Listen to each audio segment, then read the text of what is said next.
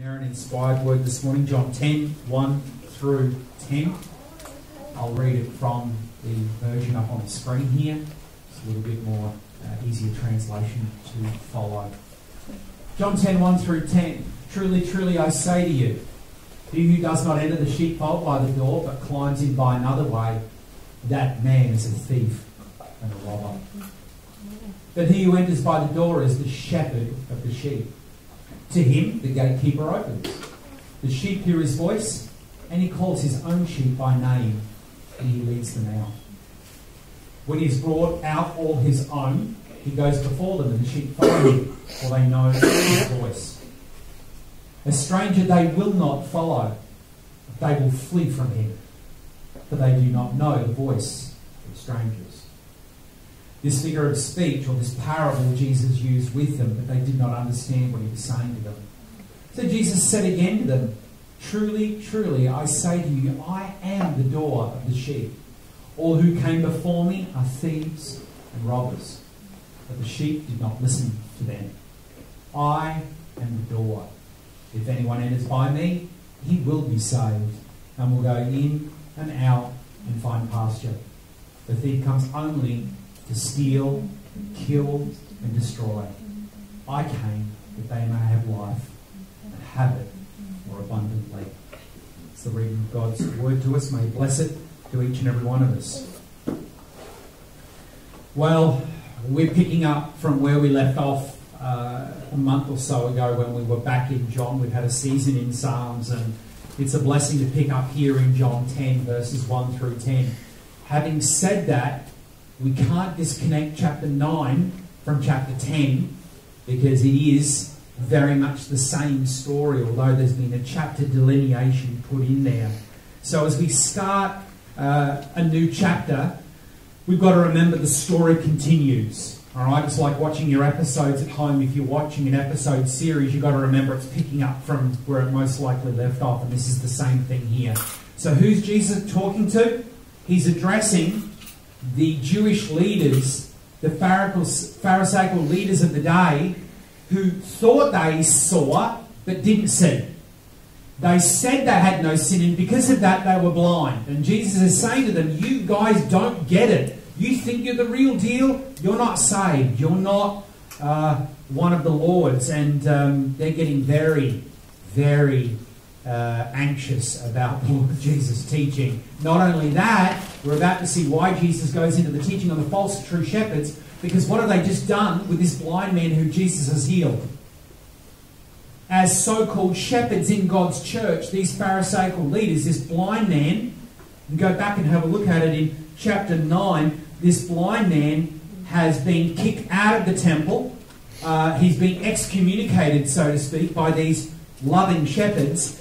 And Jesus has found him on the side of the temple and said, I am your Lord, I am your master, I am the one uh, whom you're to believe in. And he says, Lord, I believe. All right? So, what we've got is a, a true shepherd, Jesus, finding this sheep that's been excommunicated out of the so called synagogue. And then you've got all of these false people following these false shepherds. And Jesus is now about to go into what a true godly leader looks like in his house. So, there's going to be a real picture here that the Lord brings about. And he's teaching another parable. A parable is there to illustrate a natural story or a picture, a word picture of a spiritual truth. So he's communicating spiritual truths. Now, how's this helping you this morning? Well, I'm not a shepherd, I'm not a pastor. How's this passage going to help me? Well, how's it going to help you is a very good question because although you might not ever be called to be an under shepherd in God's house or to shepherd God's sheep, as a sheep in God's house, as one who is called uh, by the Lord to be a, a, she- a sheep in his sheepfold or a, a, um, a, sheep in his pasture, or one of his called ones that hear his voice and follow him, we're called to not only follow the great chief shepherd, but we are given under shepherds that we are to follow. Paul says it himself follow me as I follow the Lord Jesus. And so the Lord appoints, Ephesians 4, pastors in his church, under shepherds, elders.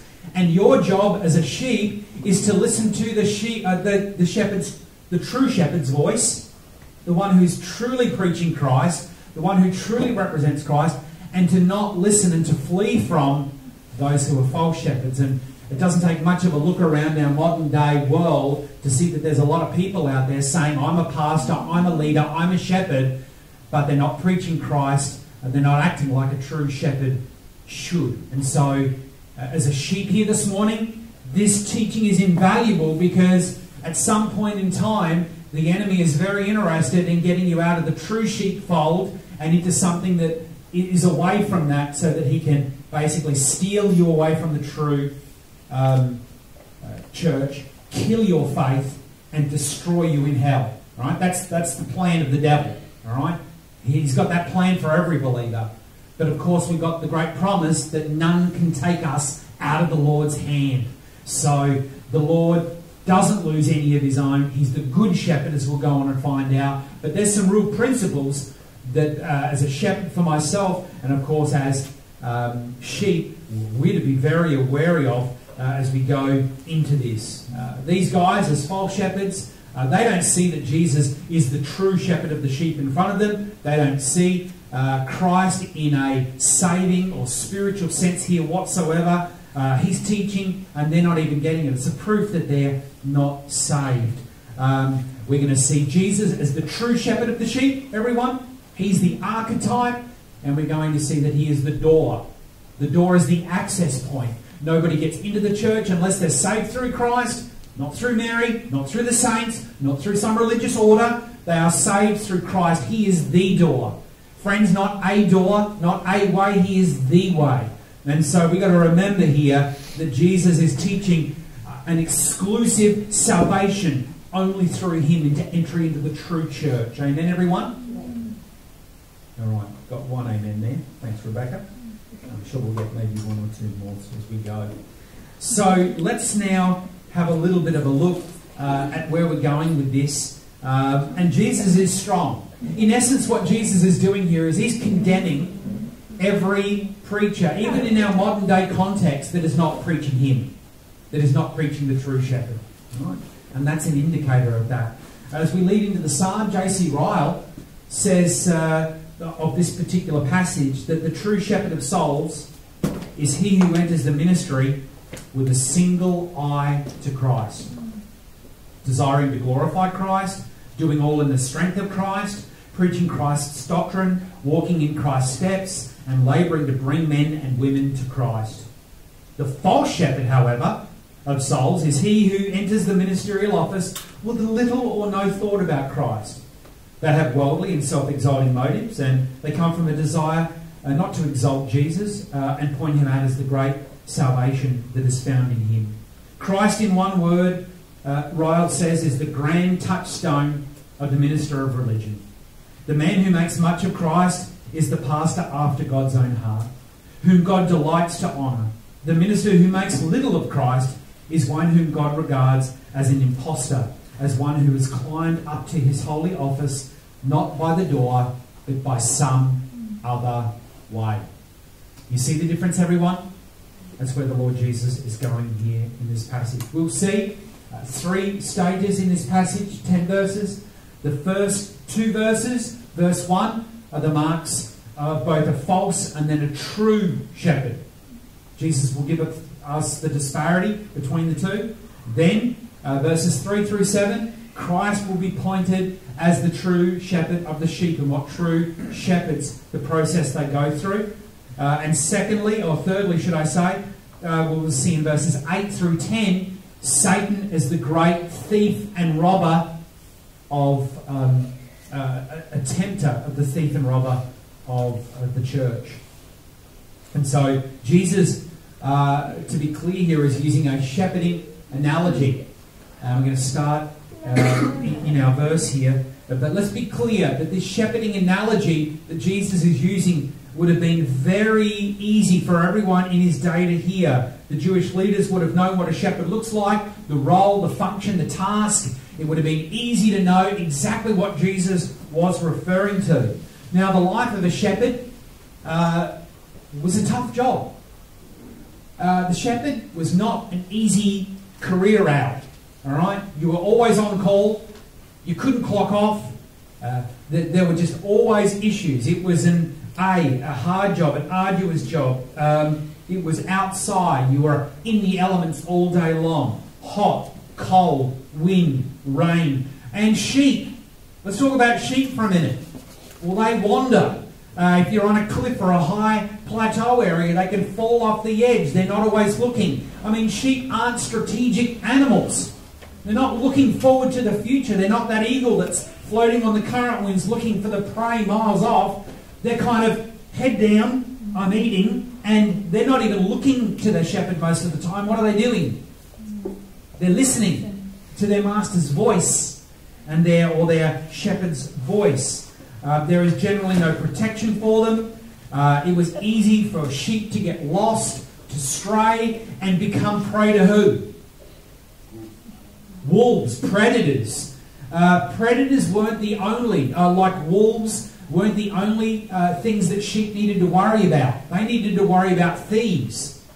Thieves, back in the day uh, of the shepherding analogy, uh, would come up to the sheepfold and they would sneak over the fence at night. They would grab a sheep, get the knife, slit its throat, throw it back over the wall, and then eat it, basically skin it uh, and, and take its wool, make money from it, and then eat it, basically devour its flesh. All right? So it became lamb gyros, uh, and we'll sell off the wool and make some money. All right? And I know I'm playing on words here, but it's pretty, that was the end result. All right?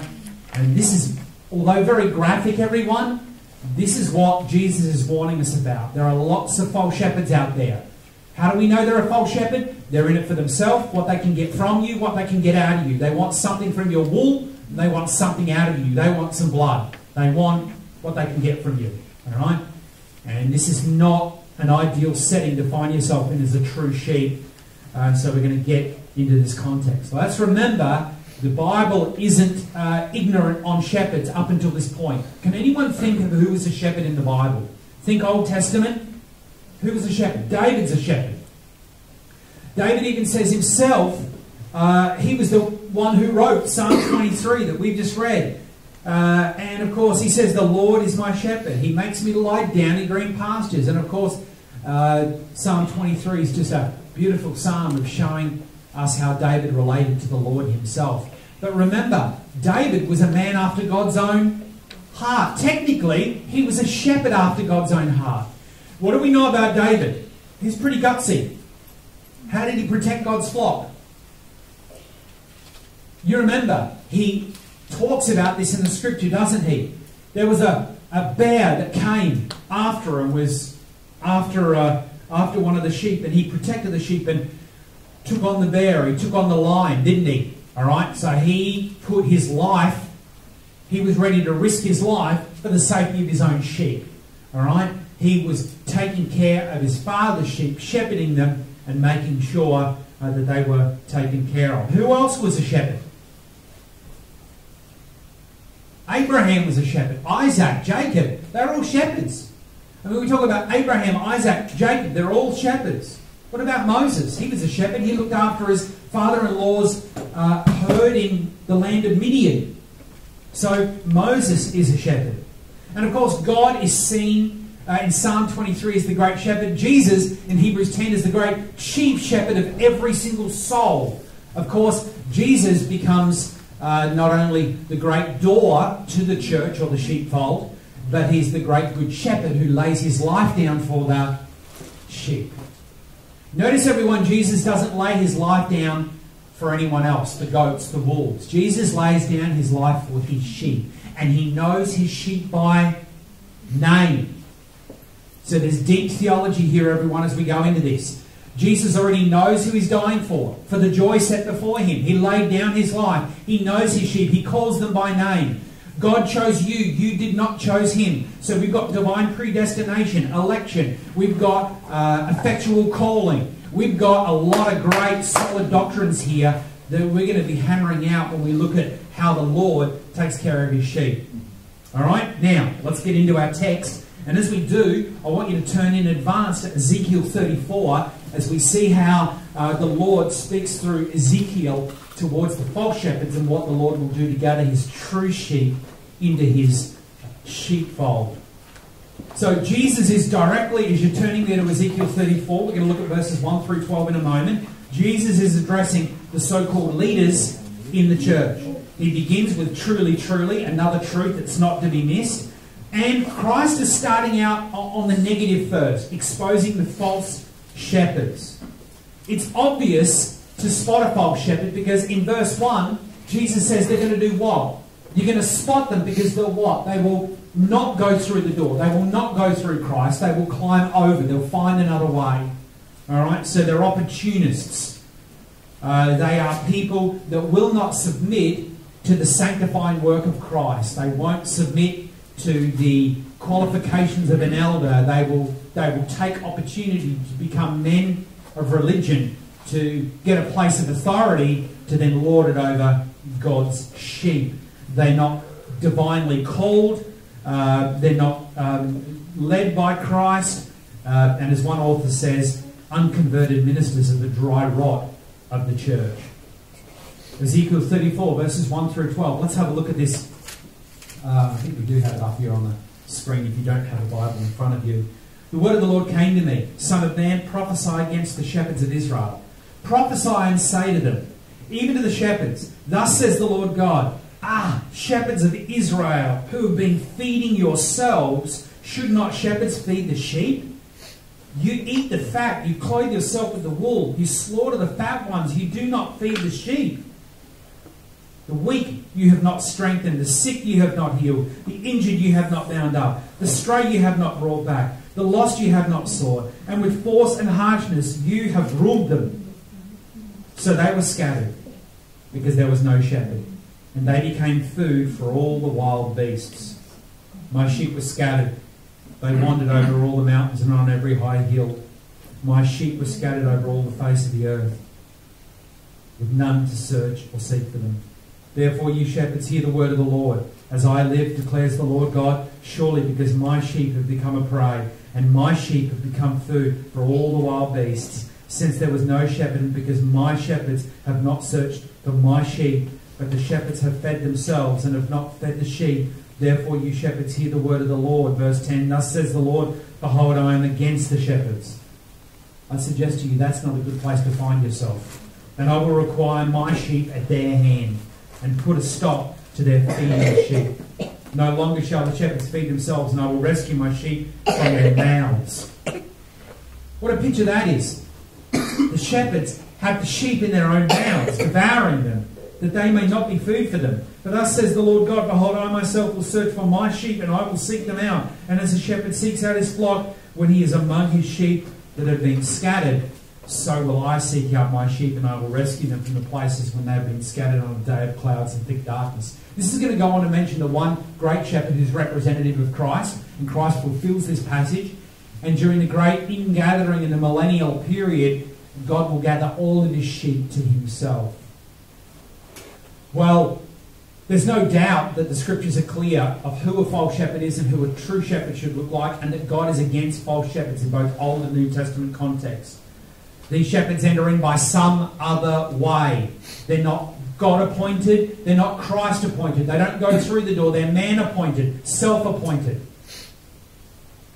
They're certainly not God appointed. They love religion, they love the religious life. Uh, as one of my friends would say, you know how they swing around the smoke censer and they do all the chants and you know have all the visuals. They love the bells and the smells. All right, but they don't love the Lord Jesus. Unlike David, they are not men after God's own heart. At the core and thrust of everything they're about, they are self seeking.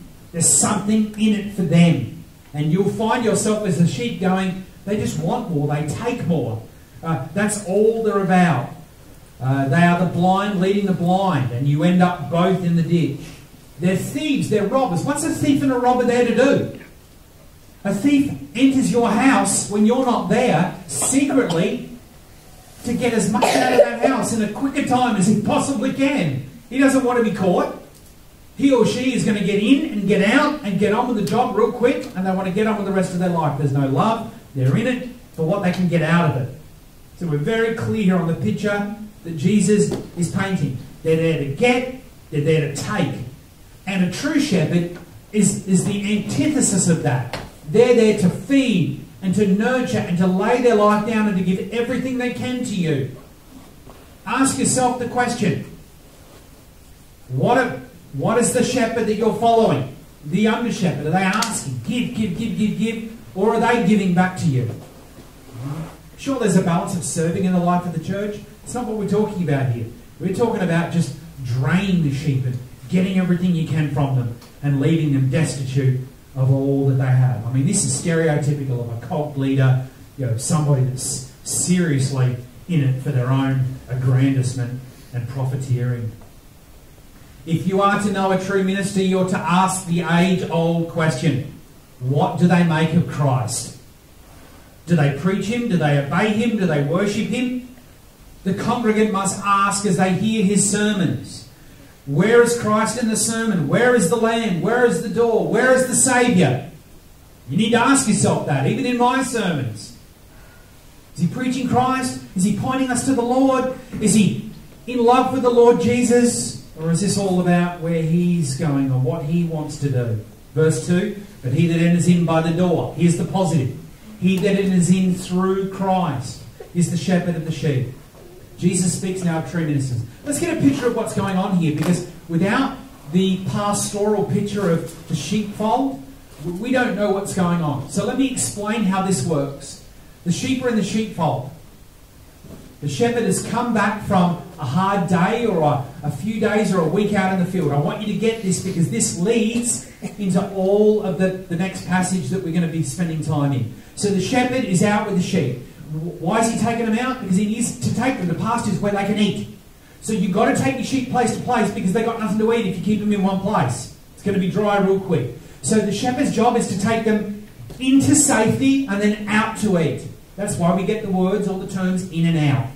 So the shepherd comes back from a day. Now he's exhausted. He spent all of his day making sure the sheep are together, tapping them with his rod and his staff. Hey, get back in. Come on. Hurry up. All right? And, and, so he's shepherding them, he's looking out, he's taking them to a place where he knows there's good green pasture, they can eat, they can lie, they can rest, and he can uh, look out for them and he brings them back. And at the end of the day, he's exhausted.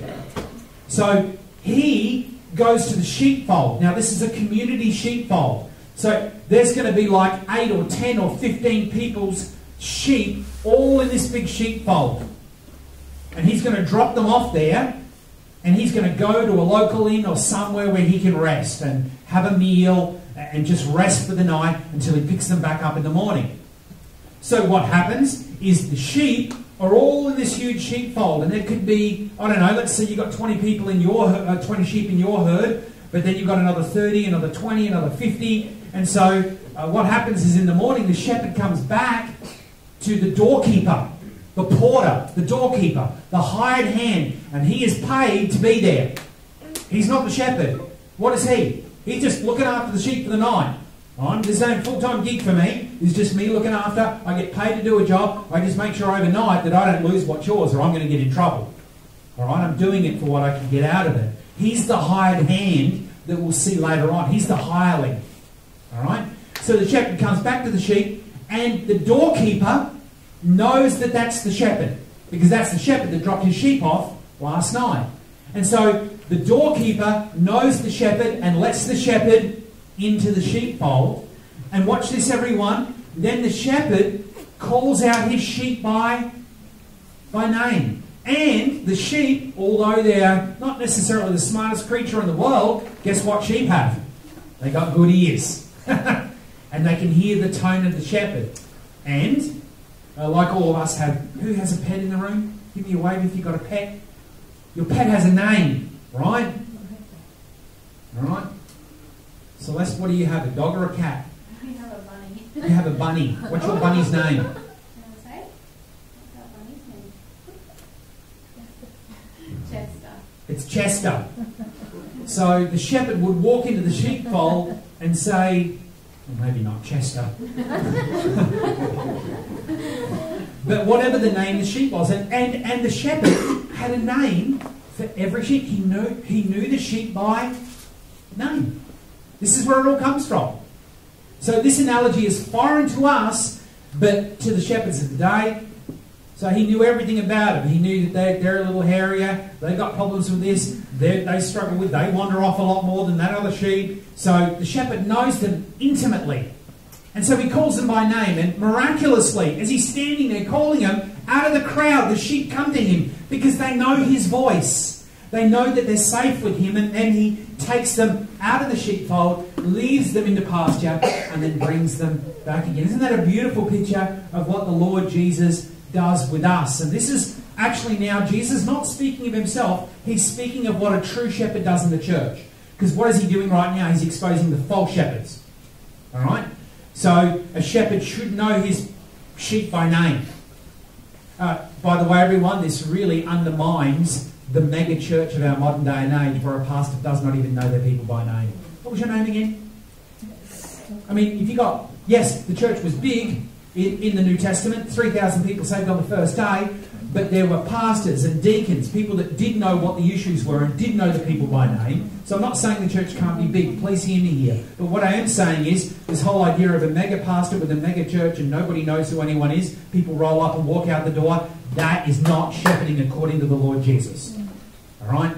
And so I have no problems in my mind thinking if I'm a pastor and I'm looking out for God's sheep, I don't necessarily want to have 5,000 people because that's a lot more I'm accountable for on that day. So I need to be careful of what's going on here and looking at the dynamics of what the Lord expects of his people. So he that enters in by the door is the shepherd of the sheep. So we know that he who enters in by the door, he who is a true shepherd enters in through Christ's calling, through the door. Christ is the door of the sheep. So there will be evidence in a true shepherd that Christ has called them. They love the Lord Jesus, and there's true evidence that they are called by Christ. Isn't this true of everyone called in the Bible? Were not the disciples called by Christ? Amen, everyone? Was not Saul called by Christ? You are Saul, you will be Paul, you are called to preach my name and to suffer much for my glory. And not, note this, everyone, a true shepherd will not only be A, if you're writing these down, called by Christ, B, they will have a heart for the sheep. They are the shepherd of the sheep. They're not in it for what they can get out of it. They are the shepherd of the sheep.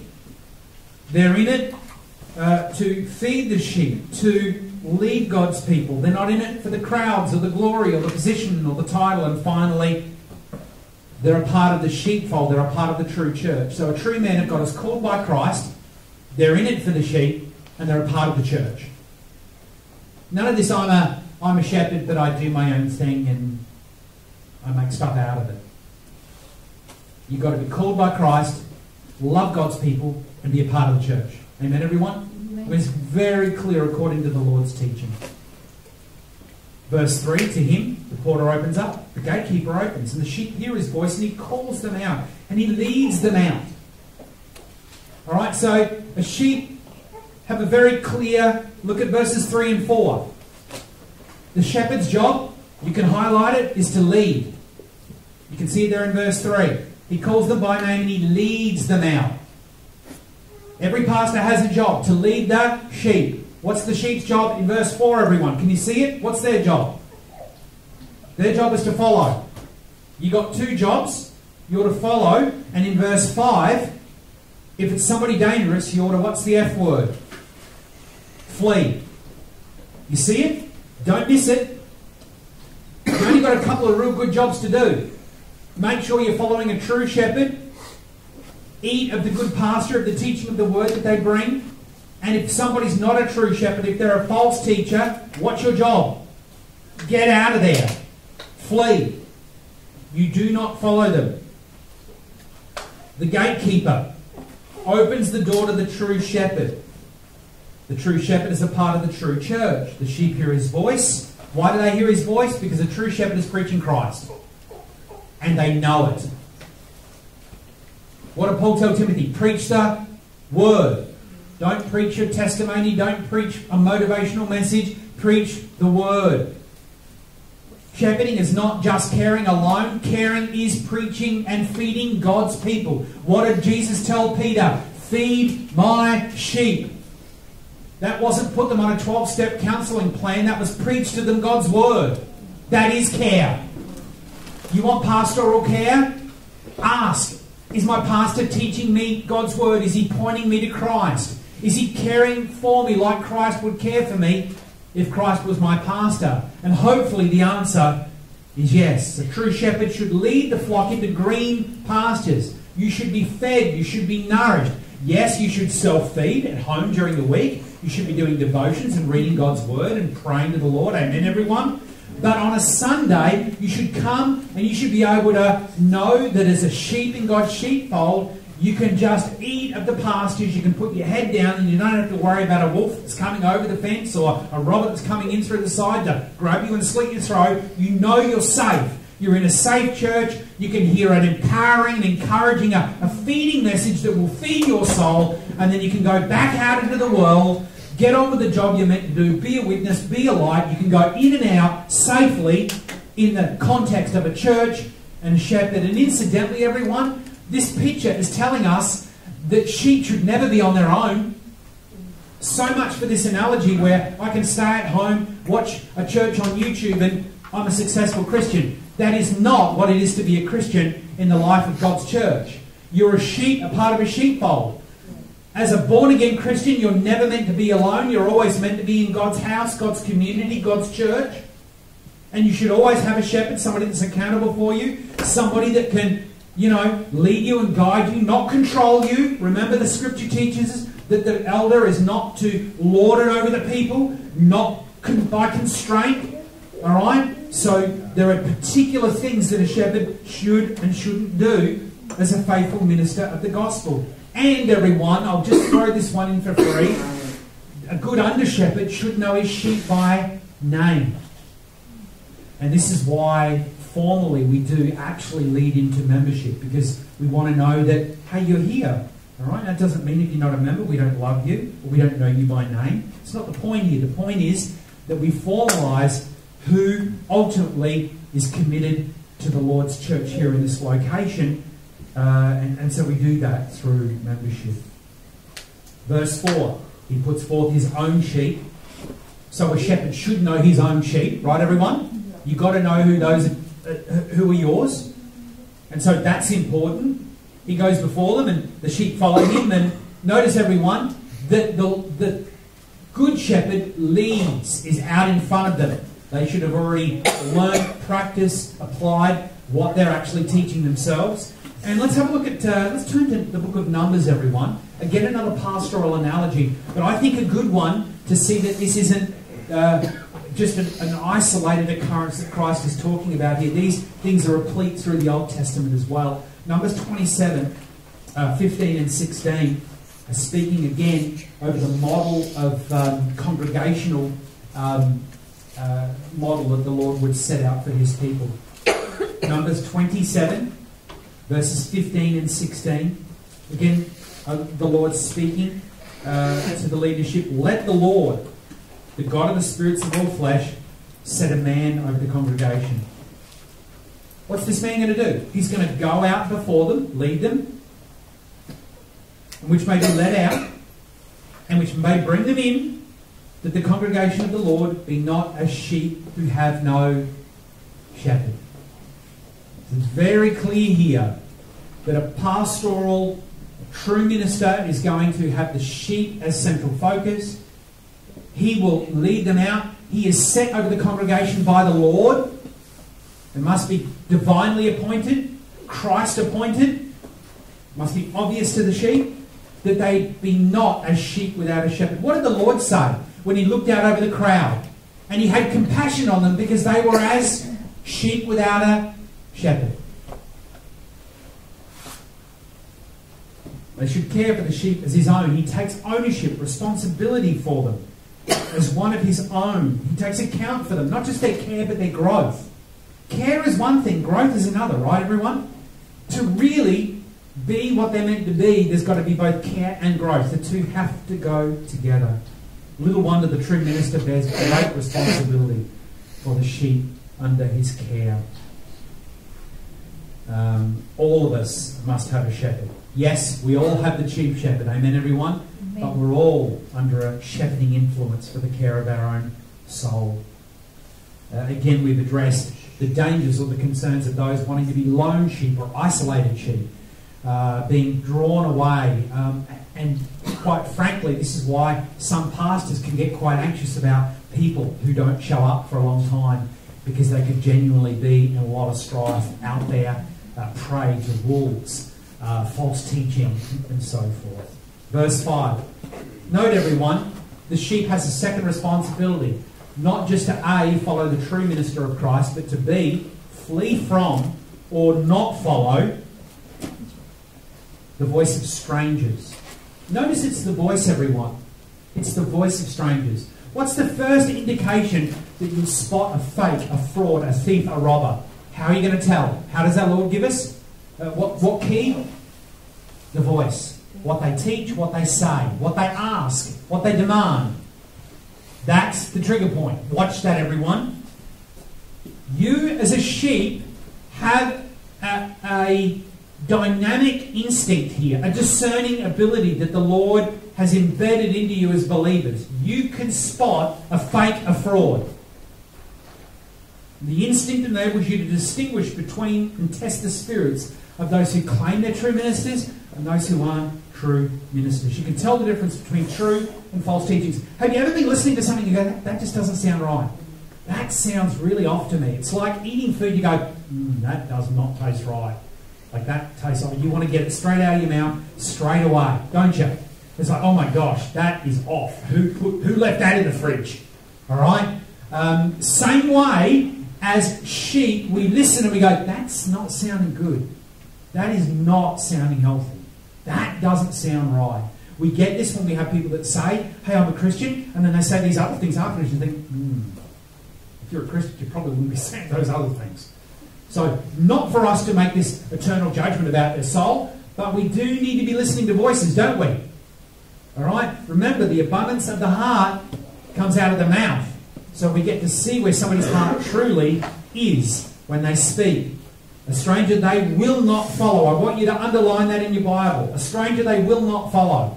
I'm pro you not even listening to any false teachers. I just want to hear what they're teaching. I want to hear all the errors. I want to hear all the heresies. Forget it. Jesus tells you, don't even listen to them. Don't even follow them. Don't listen to their voice. But I want to follow them on YouTube. I want to follow them on Facebook. I want to forget it. Switch the TV off. Listen to good teaching that will feed your soul. Amen, everyone? Listen to the guys you know. You won't have to spit out all the bones. Don't be worried about that. You've been given, 1 John 2.20, an unction, an anointing from the Holy Spirit. You know right from wrong. You know it.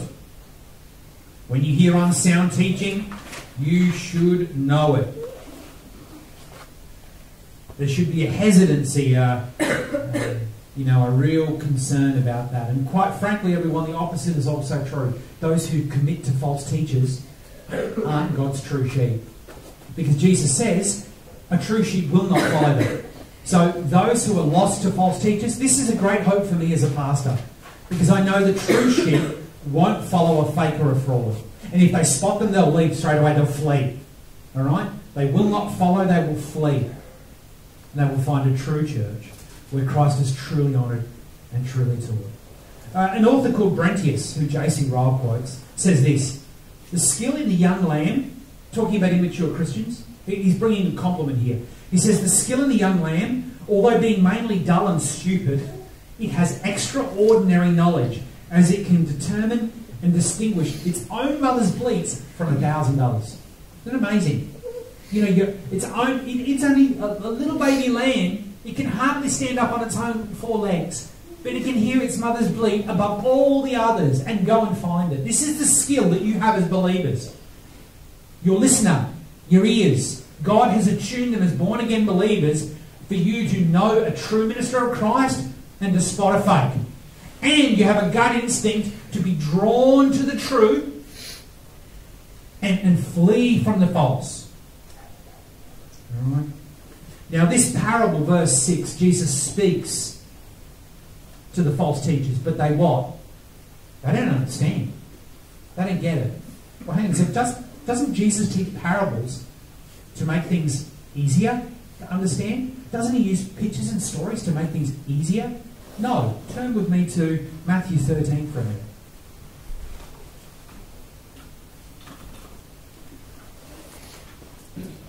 Matthew 13, verses 10 and 11.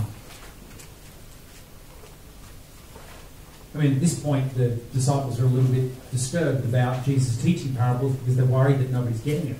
And so they come to him and they say, uh, Why do you speak to the crowd in parables? Well, Jesus, why are you doing this? I love how the disciples question Jesus' teaching technique. You know, the teacher of all teachers.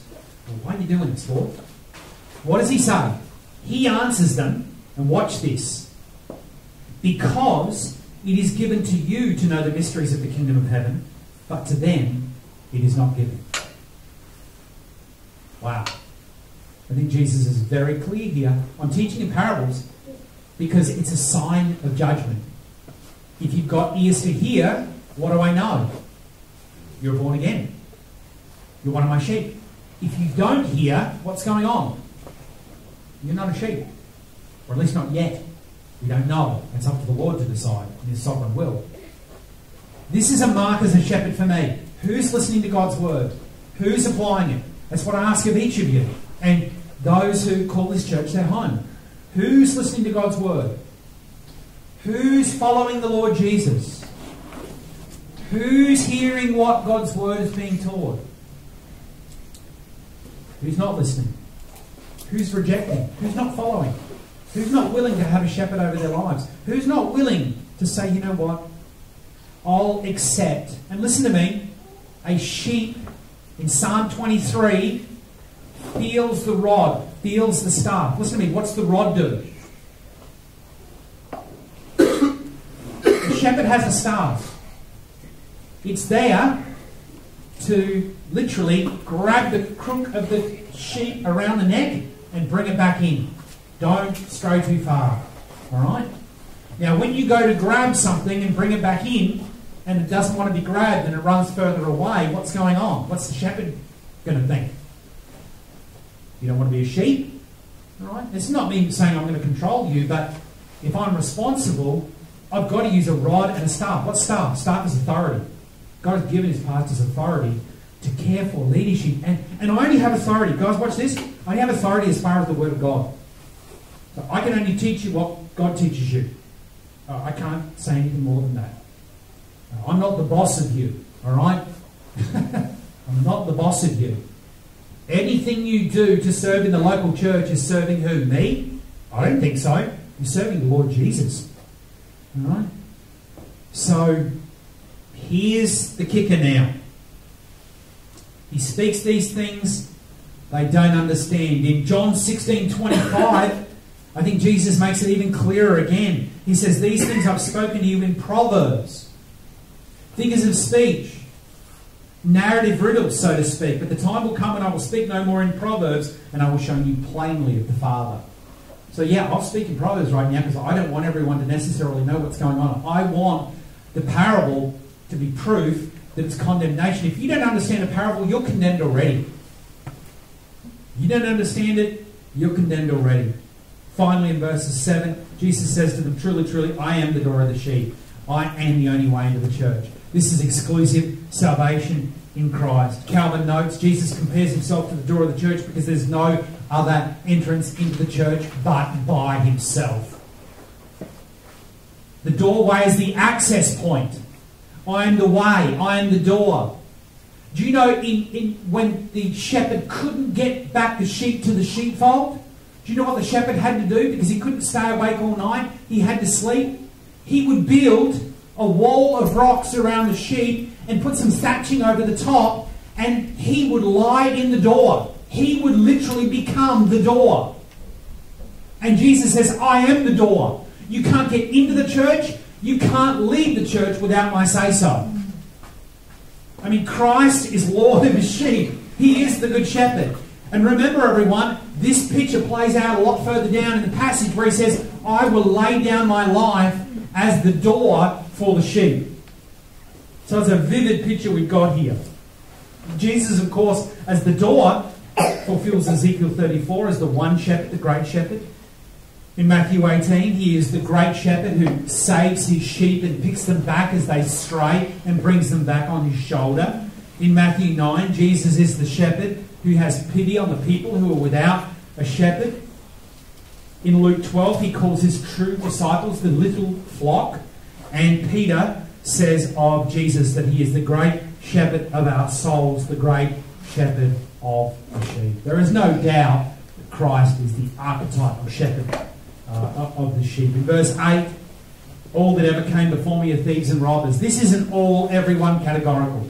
Or else uh, John the Baptist and all the prophets were thieves and robbers. No. No, this is all in context false teachers who he's addressing. So, all of you religious leaders, all of you fakes and frauds, all of you who came as messiahs, and by the way, everyone, it's not just all past tense, it's going to be all future tense. Because Jesus tells us there will be false what? Shepherds in the future, false Christ, false messiahs, coming in my name, bearing great miracles, bearing great signs. Now, we could go to the minor prophets and look how the Antichrist will be a false shepherd, doing great miracles. Don't have time for that, but it's all there. Verse 9, I am the door. By me. I want you to underline that, everyone. I am the door. By me. Through me. Only via my name can any man enter in and be saved. This, in reference, everyone, is into the sheepfold. You're only saved if you're in the church. I'm not talking physically in the church or attending Sundays. I'm talking you must be in Christ's church to be saved. Amen? You can't be in Church of Mormon or Church of Jehovah's Witnesses. You need to be in Christ's church. You need to be in his body. And those, here's the great promise, everyone. Those in Christ's church will be able to go out and come in and find pasture and food for their souls. Beautiful promise, everyone. If you're a believer and you're in Christ's church, you've been saved through Him, you've come in by Him, you will find food for your soul. You should be in that place where you go, Thank you, Lord Jesus. I'm reading your word. I'm being fed in a local church.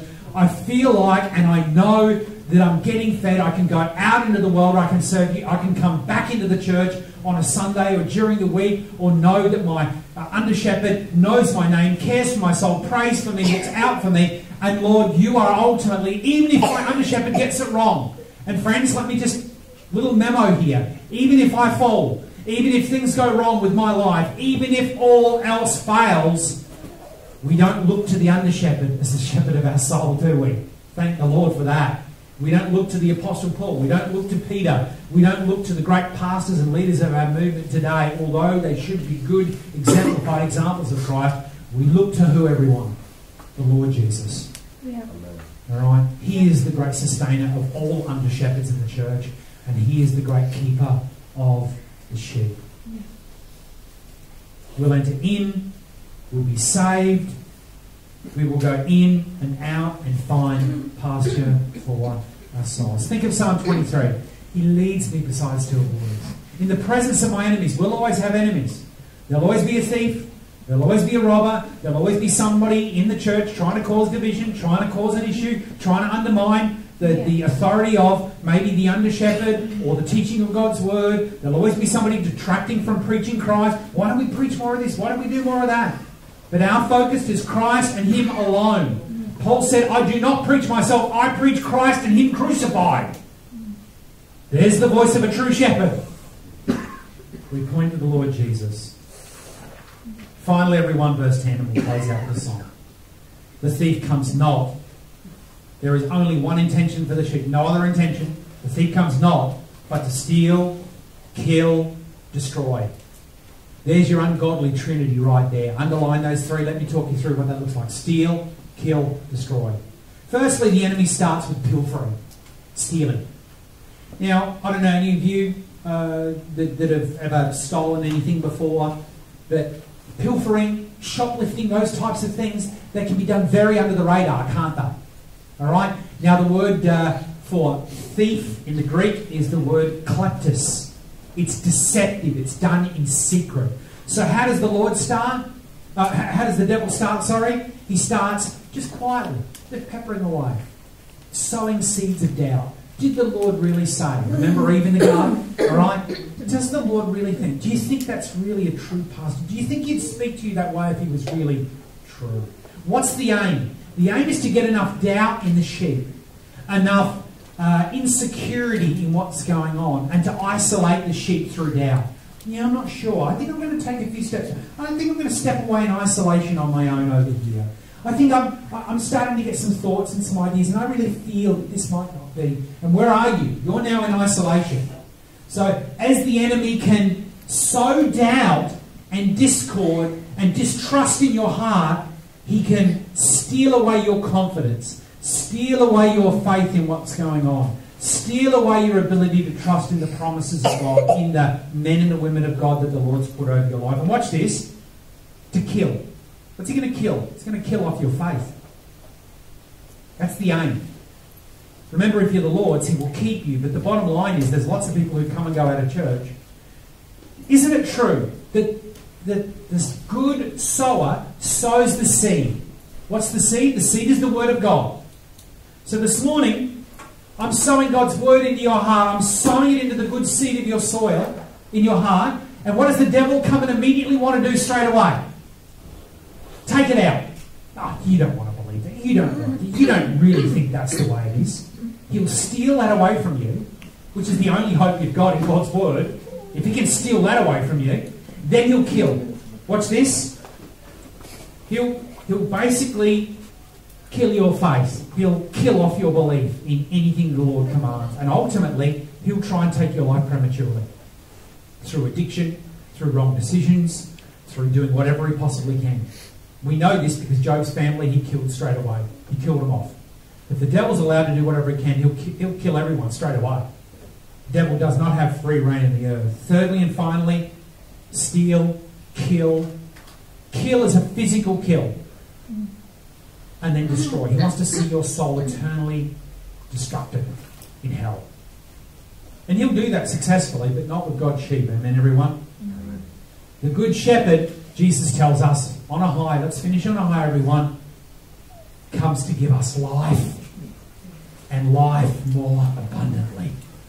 What a great promise that is. Christ gives us spiritual life and life more. But the devil cannot take the life Christ has given to you. Let's be clear on that. So, what have we been taught this morning? Well, John reminds us I wrote these things that you may believe on him who can give you life. Jesus Christ, the Son of the living God.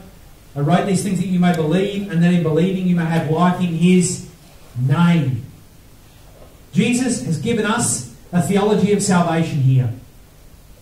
As sheep in his pasture, all of us together, he's given us a theology of salvation.